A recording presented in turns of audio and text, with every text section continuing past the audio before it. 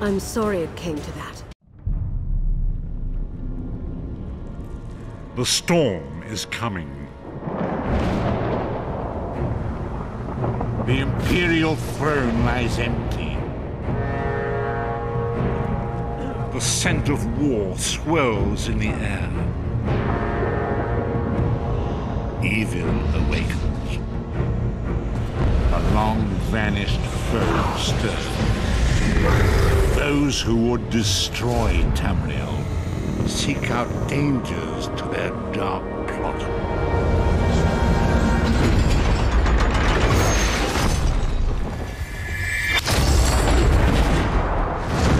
It is the 582nd year of the Second Era. The drums of war are sounding. This is where our journey begins.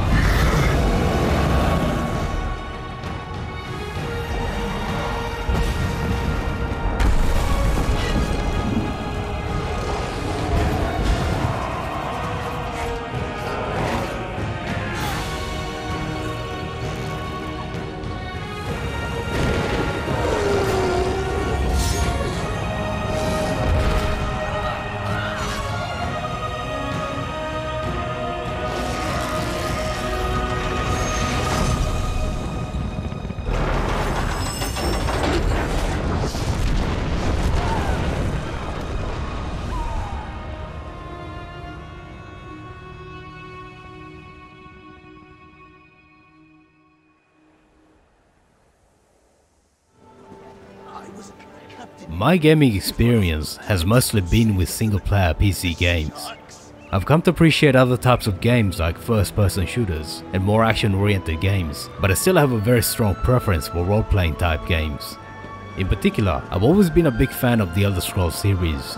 I've gone back and played the old classics like Morrowind and Daggerfall and loved them. Yes, I even slogged through Arena. So I was delighted to get access to the latest Elder Scrolls Online expansion. Special thanks go to Bethesda Softworks and ZeniMax for the review key. Any opinions in this video are entirely the authors, and the footage is from the newly released High Isle expansion. What? If you like what you see, feel free to click on the link in the description to get more information on the game.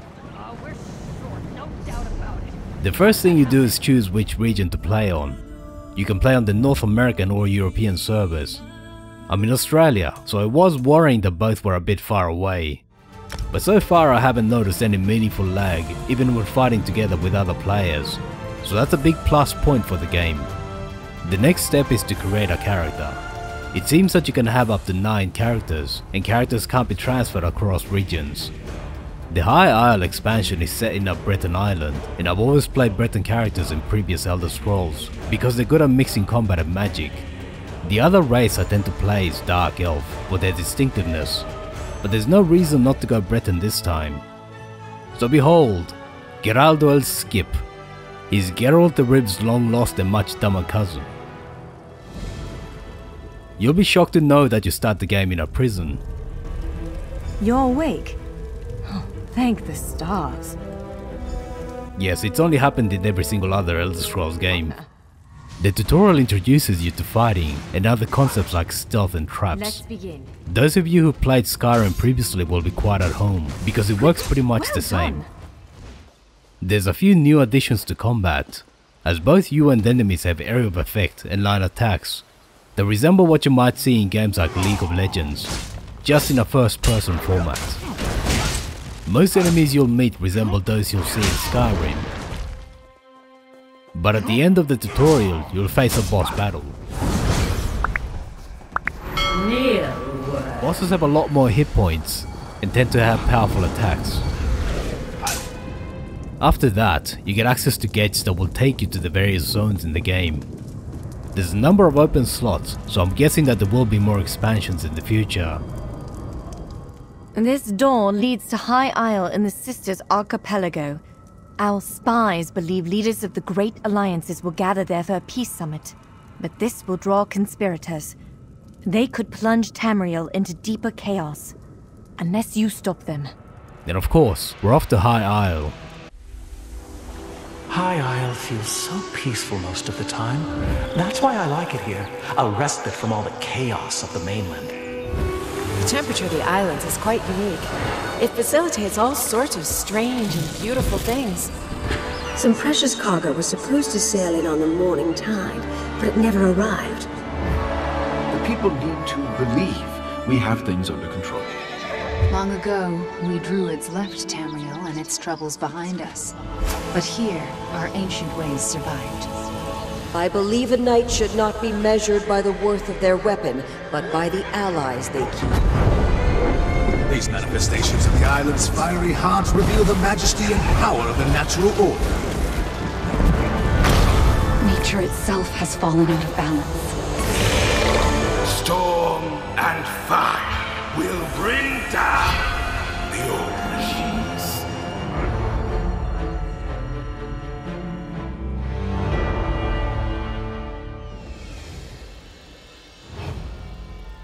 You'll be greeted by an NPC as soon as you arrive.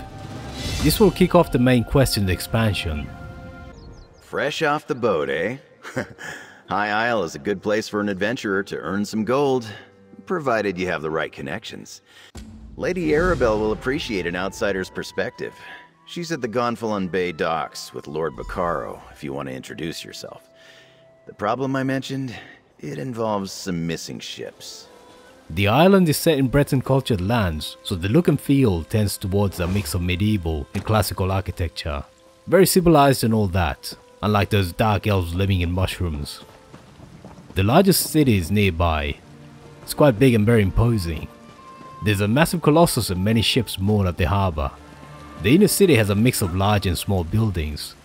It also seems that you can purchase your own home eventually. There's also your typical weapons, armor, and consumable vendors, plus crafting benches. Since I didn't know anything about the game, I started doing the main quest immediately. My dockhands are watching for your cargo, Lady Arabelle. They know it's precious. There was a storm off the coast. Perhaps it delayed the ships. Forgive me if I do the job you hired me for, Lord Bacaro. You there, might we speak? I have a keen eye for talent, my dear, and you're practically oozing it from your pores. I am Lady Arabelle Davaux. You're told to look for some ships that haven't come in as they should. But as you go about that, you'll meet a mysterious group of fighters raiding the countryside and causing all sorts of trouble. The first of the main quests will see you explore a bandit hideout, restore the lighthouse, and finally rescue the captains of the missing ships. Along the way, you overhear the head of the bandits. Down there, it's Quentin. Let's listen and try to figure out what's going on. A new age of peace is upon us. An age of free peoples, standing together, not kneeling to distant thrones. This is not your war, General. What say you?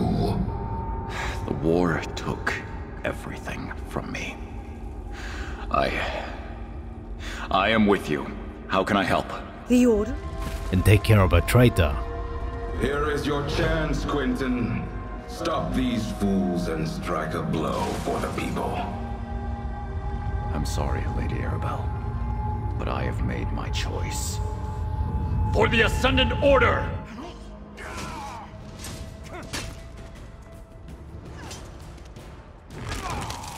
What's clear is that this is more than just a ragtag group of bandits. This is bigger than just some missing ships. And the plot develops as you proceed down the main quest line. So far I've only done 2 of the 7 main quests, and I've already gone up about 6 levels just from that experience. As a bit of background, the game is set in the second era. This is an era of strife between the various regions, and the game reflects that with three alliances. You have the Bretons, Redguards and Orcs in the Daggerfall Covenant, the High and Wood Elves plus the Khajiit form the Aldmeri Dominion, and the Nords, Dark Elves and Argonians belong to the Ebonheart Pact. The factions are based on geography, but if you know the history of race relations in Elder Scrolls, it's a little odd that the Nords, Dark Elves and Argonians are in one faction, given that they've supposedly hated each other since forever. But I'm guessing that that's primarily a hand wave for the sake of having three factions alliance in PvP. The single player Elder Scrolls games are set at the end of the third era, after Tiber Septim has reunited the continent, and the Oblivion Crisis marks the start of the fourth era. So the online game takes place well before any single player game. But getting back to the main quest, these anonymous fighters raiding the countryside claim to want to end the wars and bring peace to the land. They refuse to show their faces and don't wear any emblems, which NPCs in the game say is highly suspicious. But Geraldo, he can be trusted. Uh, this is not good. Rigert needs help. First things first, Again. generally speaking performance has been flawless for me.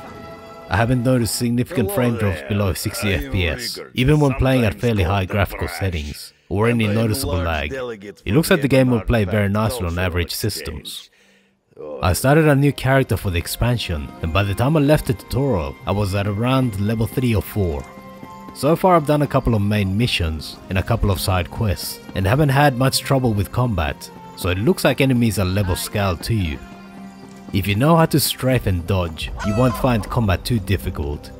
You shouldn't take bosses too lightly, but the only fight where I've died was one involving a boss well above my own power level that's meant to be tackled by a group.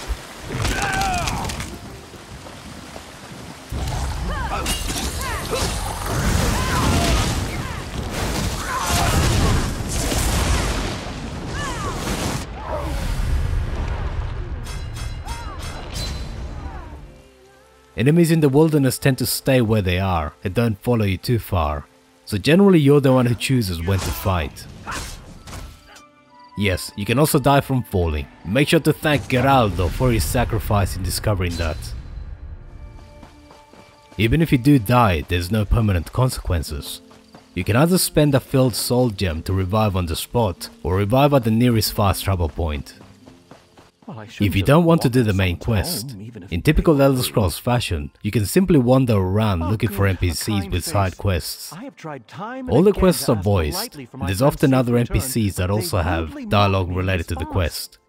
So you can speak to them for additional dialogue if you want, though it seems to be flavor text only. If you look at the world and the expansions released so far, the world seems pretty big. Over about 30 hours, I've only really explored a small part of the expansion island I'm in, and looking at the list of zones, it seems that there's so much more content out there that I haven't even touched, even within the expansion I'm in. The list of achievements and collectibles suggests that we're looking at hundreds, most likely thousands of hours if you want to explore everything. If you're mostly a single player gamer, it might take some getting used to seeing all sorts of shiny high level characters surrounding the quest giver or zipping about with bears and other pets in tow. NPC enemies also respawn very quickly, so you should never assume you've cleared a dungeon. You'll have to fight the same enemies again if you go back after a few minutes. But they're also very unperceptive, so you can easily fight them in small groups at a time. Inventory also plays differently. Instead of a weight limit, you have an item limit. By default, outside of what you're wearing, you can carry 60 different item types not the total number of items you have, but the number of different items you have. That means that dozens of the same item count as one towards the inventory limit. Sure, you have other places to You also get a bank where you can deposit your items for storage.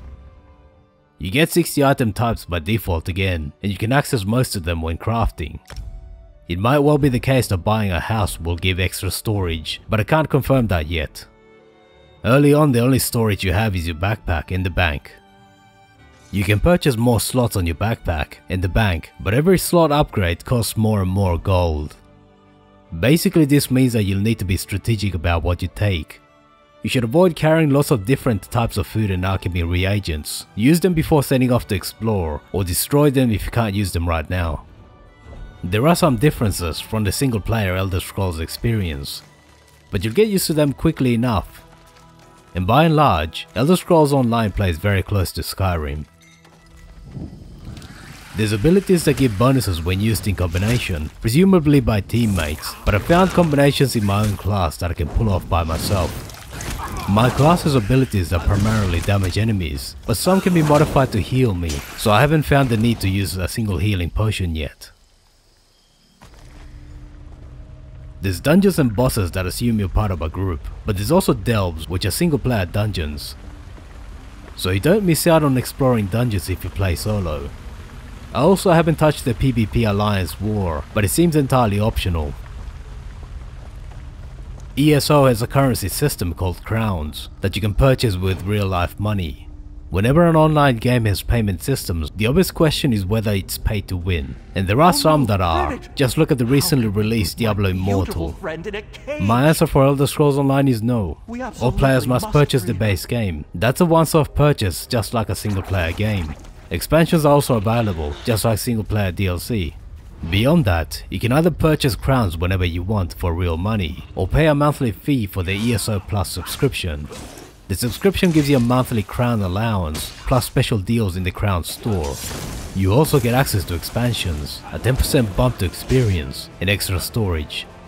Nothing game changing though, the only thing I've found noticeably annoying in the base game is storage. ESO Plus players get access to a craft bag that allows them to carry unlimited amounts of crafting materials and double the storage at the bank. Since crafting materials are the majority of item types, you quickly run into the inventory limit if you try to play the game as if it was Skyrim and loot everything in sight. But as I mentioned already, you can get around that by being wise with your inventory management at the beginning. I imagine the limits will become less of a problem as you play the game and gather enough in-game gold to expand your capacity. The items in the Crown store are mostly about purchasing access to DLC areas, mounts, cosmetics, houses, and generally skipping the work needed to unlock things. For instance, you can simply purchase the same backpack limit upgrades that you can purchase with in-game gold. But using real-life money will not allow you to go over the maximum inventory size you can purchase with in-game gold. Spending crowns simply skips the work of collecting the in-game gold. The ESO Plus subscription is the only way to use real money to expand your carrying capacity beyond that. There's also a loot box system where you spend crowns to get loot boxes. I received one at the end of the tutorial, but I haven't used the system since, and I don't feel I've missed anything. Basically, you do get some bonuses by spending real life money, but they don't break the game, and I haven't felt the need to even look at the Crown store so far, other than to write this review. So can you play Elder Scrolls Online as if it was a single player game? Most definitely. You don't have to get into the multiplayer aspect at all. My only multiplayer experience has been when I run into random people and we just happen to fight the same boss at the same time. I haven't felt as if I'm playing a half-baked game at all, and it's pretty clear that the game was designed to be functional for solo players. You can devote your time to just gathering resources and crafting for profit, exploring single player dungeons, doing side quests, decorating your house, and so on. As I mentioned earlier, the world seems enormous and you shouldn't lack for things to do, even if you just focus on exploration and completely ignore multiplayer. It speaks volumes that there's an explicit rule in the code of conduct against forcing roleplayers, quote, into situations that they don't want to be in. Thanks for watching all the way to the end. Let me know what you thought about in the comments. Feel free to leave a like, subscribe and hit the bell button to be notified when new videos come out. See you soon.